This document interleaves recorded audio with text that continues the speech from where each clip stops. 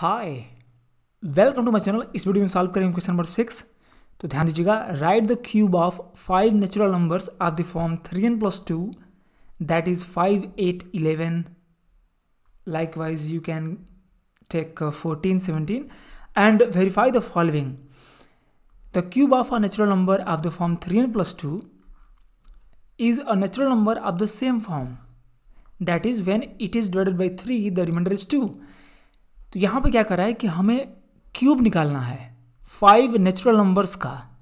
और ये जो फाइव नेचुरल नंबर्स होने चाहिए, वह थ्री एन प्लस टू के फॉर्म में होना चाहिए। मीन्स जैसे फाइव है तो फाइव को लिख सकते हैं हम जैसे कि थ्री एन प्लस टू के फॉर्म में मतलब three into one plus two है कि नहीं? देखिए थ्री एन ये हो गया थ्री एन प्लस टू के फॉर्म में। यहाँ एन की वैल्यू जो है वन है।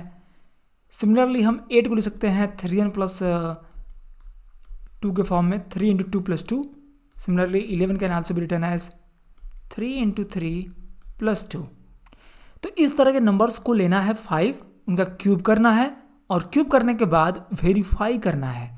वेरीफाई द फॉलोइंग जो नीचे जो स्टेटमेंट दिया हुआ है, इसको वेरीफाई करना है। तो ये क्या कर रहा है statement the cube of a natural number of the form three N plus two मतलब कि यदि थ्री एन प्लस टू के फॉर्म का कोई भी एक नेचुरल नंबर लेते हैं और उसका क्यूब करते हैं तो एक ऐसा नेचुरल नंबर आएगा जो सेम फॉर्म होगा उसका। मतलब कि इस तरह का फॉर्म होगा थ्री एन प्लस टू के फॉर्म का। चलिए तब हम यहाँ पे वेरीफाई करते हैं और सॉल्व करते हैं।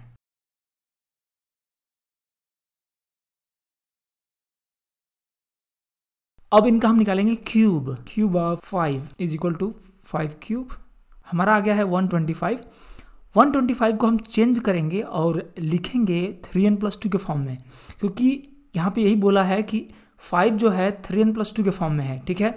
This is in the form three N plus two.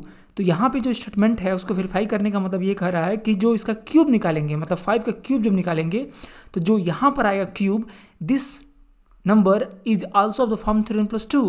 तो पहले दिखाना पड़ेगा ना हमें कि ये थ्री एन प्लस टू के फॉर्म में है कि नहीं। तो let us convert it into the form of this one तो थ्री टाइम्स ओके तो इसको करने के लिए हम क्या करेंगे? पहले इसमें से टू माइनस कर लेंगे मिलेगा one hundred twenty three plus two और इसको थ्री के थ्री टाइम्स के फॉर्म में लिख लेंगे। तो यहाँ पर इसमें थ्री से डिवाइड करेंगे तो मिल जाएगा थ्री इंटू थ्री से डिवाइड करिए थ्री फोर जा ट्वेल्व एंड थ्री वन जा थ्री प्लस टू देखिए यहाँ पर तो ये थ्री एन प्लस वन के फॉर्म में बिल्कुल आ चुका है। So three n plus two के फॉर्म में आ चुका है, जहाँ पे एन की जो वैल्यू है, वो आपका फोर्टी वन है। ओके सिमिलरली जो है, हम सबका लिख दे रहे हैं एक बार।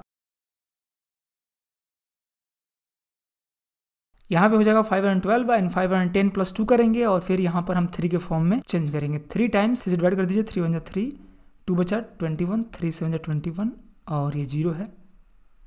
Plus two so this is also the form three n plus two n is equal to one hundred यहाँ पर आ जाएगा one three three one one thousand three hundred thirty one eleven का क्यूब और यहाँ पर हम टू माइनस करके करेंगे तो थर्टीन हंड्रेड ट्वेंटी नाइन आ जाएगा। फिर इसको हम थ्री से डिवाइड कर देंगे देखेंगे क्या रहा है multiple so this is also the form where n is equal to four four three fourteen cube होता है two thousand seven hundred forty four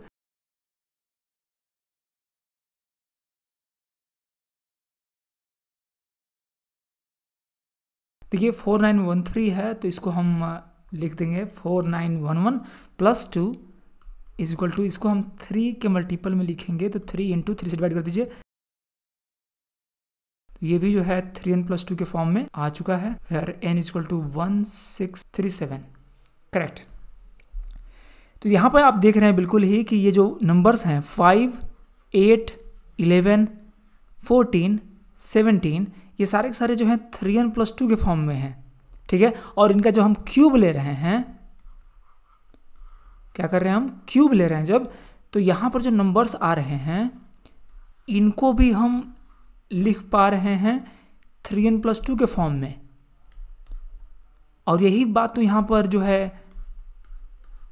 कह रहा है कि the cube of a natural number of the form three n plus two मतलब कि यदि कोई नेचुरल नंबर ऐसा लेते हैं जो थ्री एन प्लस टू के फॉर्म में है, जो ये सारे के सारे जो हैं थ्री एन प्लस टू के फॉर्म में हैं, और इनका क्यूब लेने पर इज़ अ नेचुरल नंबर एक नेचुरल नंबर ऐसा मिलता है, ये सारे of the same form same form मतलब कि ठीक ऐसा ही फॉर्म आता है, बिल्कुल, इसको कन्वर्ट करने पर बिल्कुल मिल रहा है three into n plus one n plus two sorry three into n plus two three into n plus two three into n plus two so it is correct clearly clearly we have verified मुझे ऐसा क्या समझ में आ गया होगा आपको कि कैसे करना है इसको। तो यदि कोई भी डाउट होता है, फिर भी तो आप कमेंट बॉक्स में लिख सकते हैं। यदि डाउट नहीं भी है, तभी कमेंट करेंगे तो अच्छा रहेगा मेरे लिए। Thank you so much for watching bye